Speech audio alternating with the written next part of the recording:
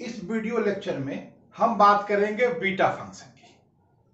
Multiple integral का एक important topic होता है, जिससे दो नंबर का क्वेश्चन एग्ज़ाम में आता है। तो चलिए शुरू करते हैं, बीटा फ़ंक्शन।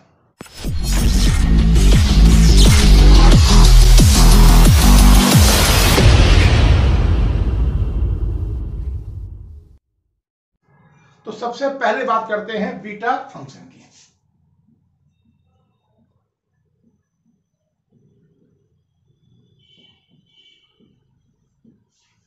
तो beta function is defined as beta M N. Actual में बीटा फ़ंक्शन को जब भी डिनोट करने की बात आएगी तो बीटा फ़ंक्शन को डिनोट किया जाएगा बीटा एम कॉमा एन और यह इक्वल होता है integration zero to one X की power M minus one one minus X की power N minus one D X यानी बीटा फ़ंक्शन को डिनोट करेंगे बीटा एम एन से। और ए फॉर्म होगा integration zero to one X की power M minus one one minus X की power N minus one D X तो अगर किसी भी इंटीग्रल में आपको लिमिट दिखाई दे ज़ीरो टू वन वेरिएबल की पावर एम माइनस वन के फॉर्म में और one minus X N minus one D X तो उसे हम लिख सकते हैं बीटा एम कॉमा एन यानी जो एक्स की पावर रहेगा, वो पहले आएगा और वन माइनस एक्स की पावर जो रहेगा, वो अल्फ़ाबेट बाद में आता है। इसकी कंडीशन ये होती है कि जो एम और एन है, ये क्या होने चाहिए? पॉजिटिव होने चाहिए। M greater than zero and N greater than zero इस फॉर्मूले को Eulerian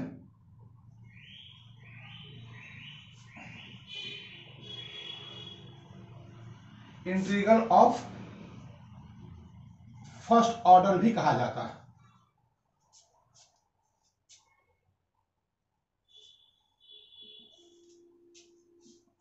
यानी बीटा फ़ंक्शन को ही एक नाम और दिया जाता है, Eulerian integral of first order. अब हम देखते हैं कि इसकी प्रॉपर्टीज़। पहली प्रॉपर्टी है इसकी ट्रांसफॉर्मेशन।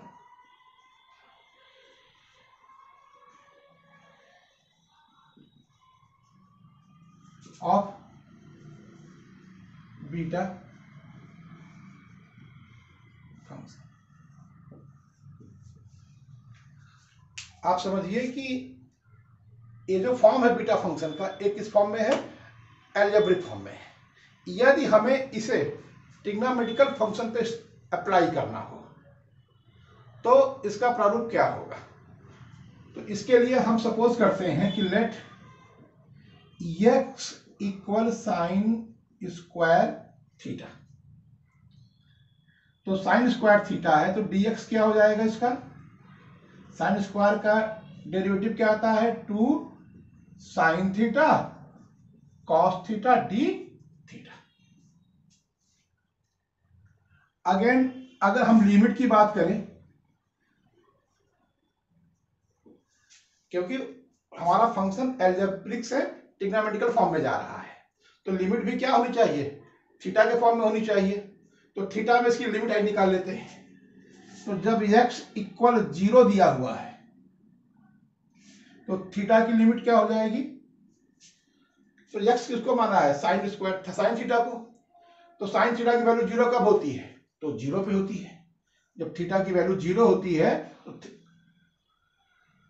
तो साइन ज़ीरो ज़ीरो इसी तरह से जब x की वैल्यू वन होती है तो साइन वन की वैल्यू कब वन होती है? पाई बाई टू पे। तो थीटा की वैल्यू क्या हो जाएगी? पाई बाई टू तो आइए, अब हम देखते हैं कि हमारा जो बीटा फ़ंक्शन क्या होगा। तो हम जानते हैं कि बीटा एम एन इक्वल होता है। Integration zero to one X की power M minus one one minus X की power N minus one D X अब एक्स डी एक्स और लिमिट इनको पुट करते हैं इसमें। लिमिट हो गई ज़ीरो की जगह हो गया ज़ीरो और वन की जगह हो गया पाई बाई टू एक्स की वैल्यू हमने लिया है sine square theta sine square theta की पावर हो गया यम माइनस वन।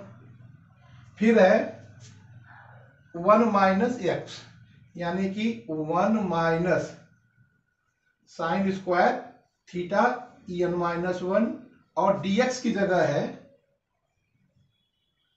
डीएक्स जगह क्या है? Two sine theta cos theta d theta. तो two sine theta cos theta d theta. आइए अब इसे सिंप्लीफाई करें। तो आपका इस टू को बाहर कर लेते हैं। लिमिट हो गई ज़ीरो से लेकर pi by two sine square का स्क्वायर कितना है बेटा? एम माइनस एम तो ए हो जाएगा sine two m minus two और a theta one minus sine square theta होता है कॉस स्क्वायर थीटा। तो ए हो जाएगा cos two n minus two theta और आपका आ गया sine theta. Cos theta and d theta. Two integration zero से पाई बाई टू। देखिए, साइन थीटा साइन थीटा की पावर कितनी टू एम माइनस वन और एक साइन थीटा की पावर कितनी है? वन जब ऐड मल्टीप्लाई किया जाता है तो पावर क्या होती है? एड हो जाती है।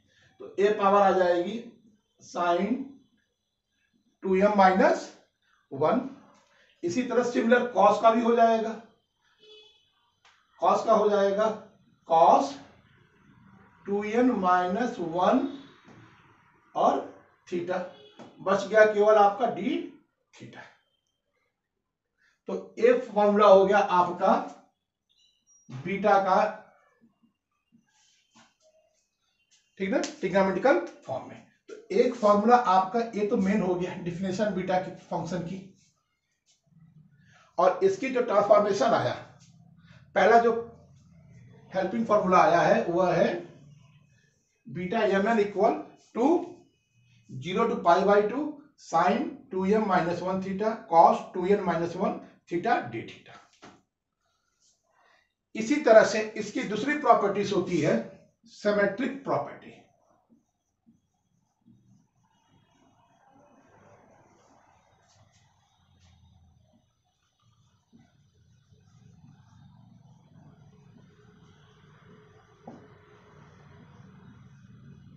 of beta function symmetric का सेंस होता है कि जैसे हम मिरर में अपना इमेज देखते हैं तो हमारा लेफ़्ट वाला पोर्शन राइट दिखता है राइट वाला पोर्शन लेफ़्ट दिखता है।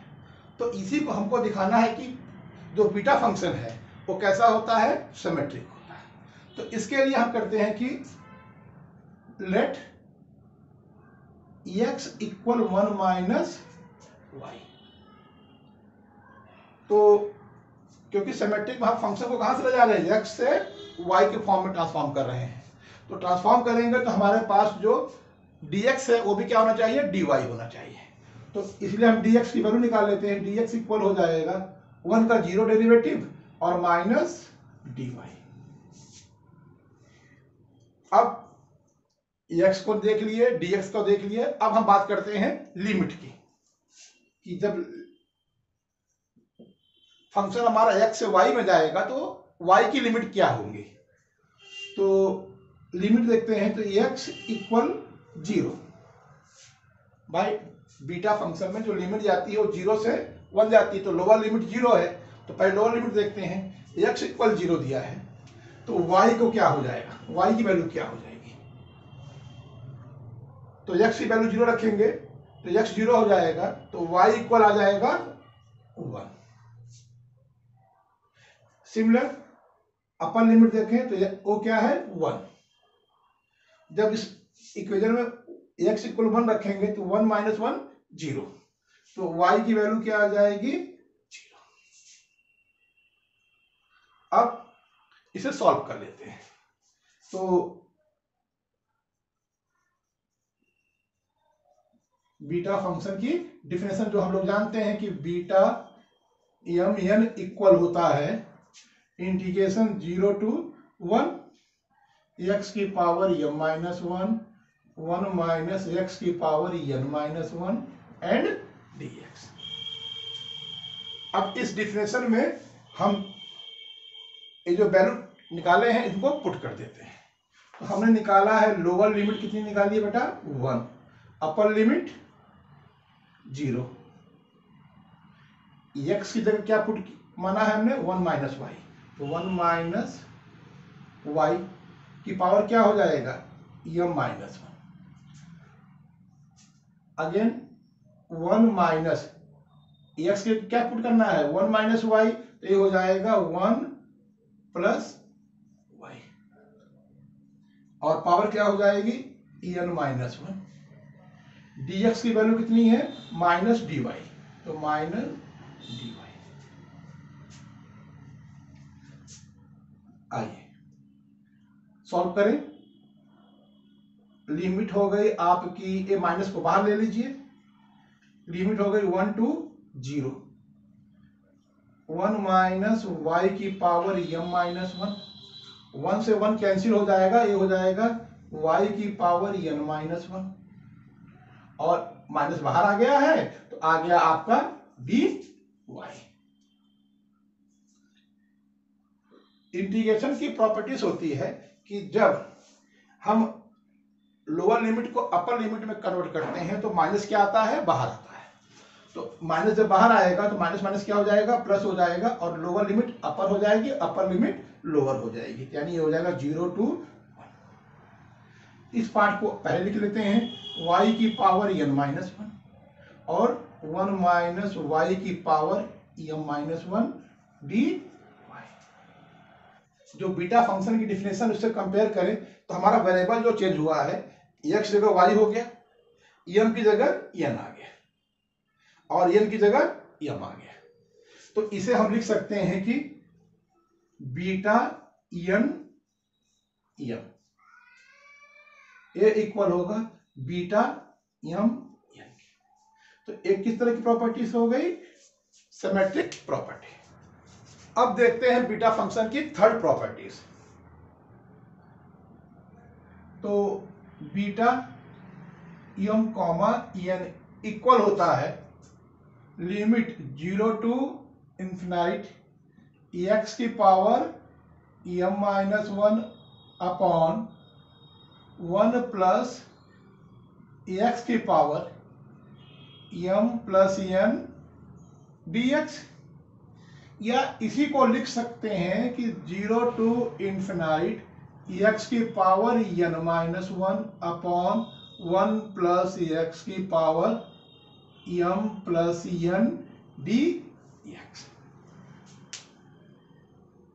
तो बीटा फ़ंक्शन क्योंकि सिमेट्रिक होता है तो इसमें एक प्रॉपर्टी ये भी होती है कि अगर एक्स की power m minus one upon one plus x m plus n करें, या एक्स की power n minus one one plus x m plus n दोनों ही कंडीशन में एक क्या, होते हैं? इक्वल होते हैं।